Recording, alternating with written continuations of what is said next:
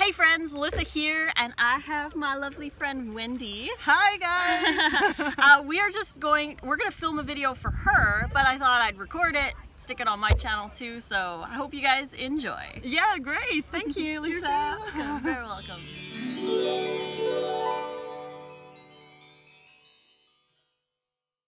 Yeah, so um, can you tell me a little bit about yourself? Because people uh, who might not know you in the Netherlands, um, I know you from Yes, here. from So, here. Yeah, I know that you have great recipes to share, and I want to go into what is your favorite food, but maybe go Yeah, on and say something about yourself. please. So I have Lissa's Raw Food Romance, which is a YouTube channel.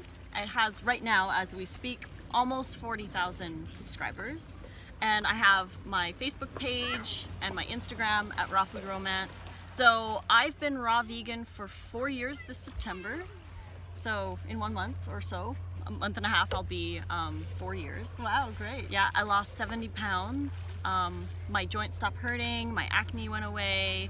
Uh, so many countless improvements in my body, and I, my mood is lighter, my exercise is better, uh, just, so much stuff. So I've been doing that for four years and doing videos on YouTube and writing recipe books. Wow. So I have, this is my newest one, my plant-based soups and dressings. And it's got 117 recipes in it and it's split up into three sections. So you've got the no fat, the low fat, and the higher fat. So you can choose based on where you are in your journey or what you want to have for dinner. So yeah, Wow, yeah, it's great. Looks good. Ah, it's Plant-based dips and plant-based dips and dressings. Wow, I know that so many people ask, always ask me, Wendy, uh, give me the recipe for this dressing. What is your favorite? How do I make this? So I think 48 ones 48 are no fat. are no Yeah. fat. Yes, because that's that's when people are going on healing and they want to ask me if I want to go all the way. I say low fat. Low so fat, yeah. you, you 48 ones Yeah. that they're good to go. Yeah. So almost half this book is no fat added, which is, I mean, that's the way I eat. I eat mostly low to no fat, right? Yeah. I keep my fats with my greens at dinner time, but that's pretty much it for fat. Yeah, and which Yeah. one do you like? What is your favorite food?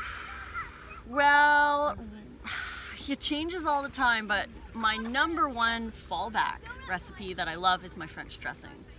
So, and that is just six dates, two cloves of garlic, a little bit of smoked paprika, lemon juice, and apple cider vinegar, blended with some water. Super simple, and it tastes amazing, and it's easy to make. Yeah, So I'll make that like, you know, if I don't have anything around or I want something quick because I know and I like it.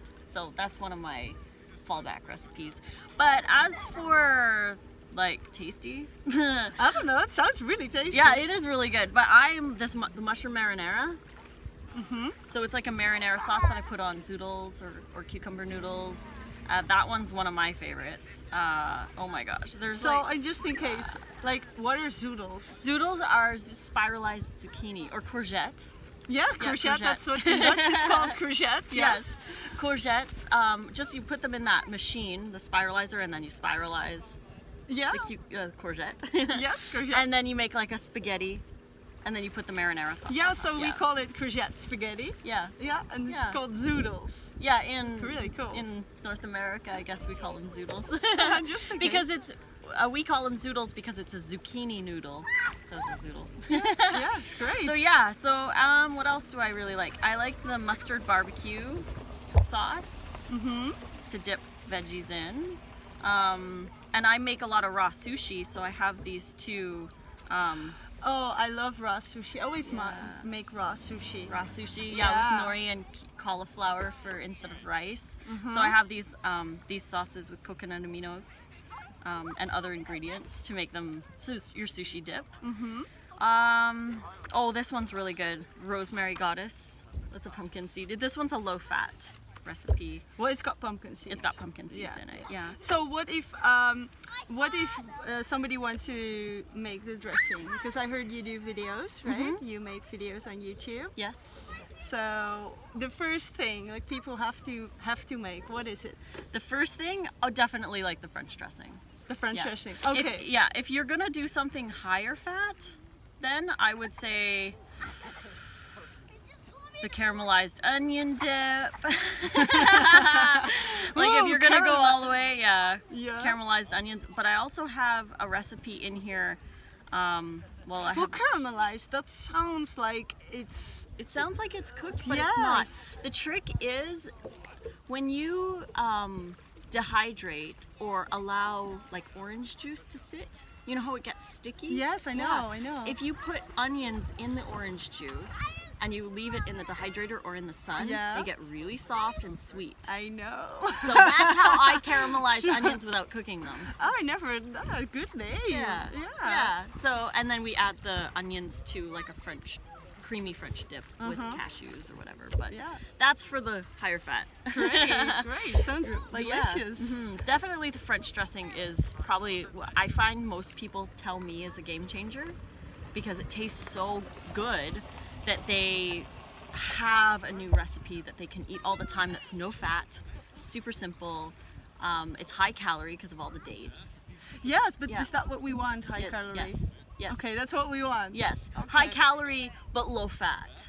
Okay. right? Yeah. So you want to be able to get enough calories in for your energy, but you want to keep it low fat so that you actually use those sugar calories Mm-hmm. instead of having them stored as fat or feeding your yeast or anything like that. Yeah. Because the higher fat that you eat, you're kind of forced to limit your sugars. Because if you eat high fat, it prevents the sugars from getting into your cells. The fat kind of gets in the way. Yeah, it gets in the way of the whole digestive system and Yeah. yeah. I usually talk about how your body works, and I tell people who like when they have issues with stomach or issues with intestines or issues with their head or whatever, then like how that works and what they can do about it. So um, like recipe making is more of a hobby of mine Yeah.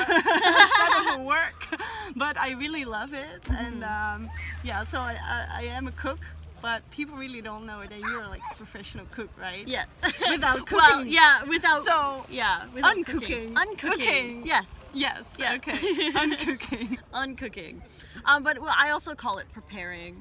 You know, you prepare Yeah, food you or whatever. food. Yeah, but Okay. yeah. Yeah. So one more question: Mm-hmm. What would people who are pregnant or breastfeed who are like hungry all the time?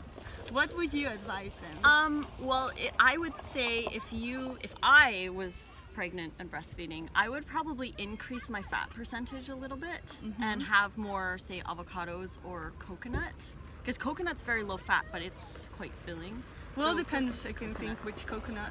Yeah, depends which coconut. I like the young Thai one, the Yes, soft one. Yeah, definitely. So I would increase that, but if you more greens, but it's hard to eat that many calories from greens. So some people tend to default to like sweet potatoes, like cooked sweet potatoes, to help increase those calories just while they're breastfeeding. But you can actually spiralize raw sweet potatoes if you need those starches. Yeah. So that's a possibility too, but yeah, definitely more fruit. more fruit, more fruit. Um, Yeah. Higher date, like add dates to your smoothies and your dressings because that will increase the calorie content. Because when you're breastfeeding, you burn an extra 500 calories. Yes, and they're they're like always minimum. Mm-hmm. hungry. I remember when I was breastfeeding, I felt like hungry all the time Mm-hmm. and kept losing weight, even though I was eating a ton of food. Yeah. but I think um, maybe resorting to avocados or the young coconut, and you can also get like Thai coconut, which is not so young. Yes.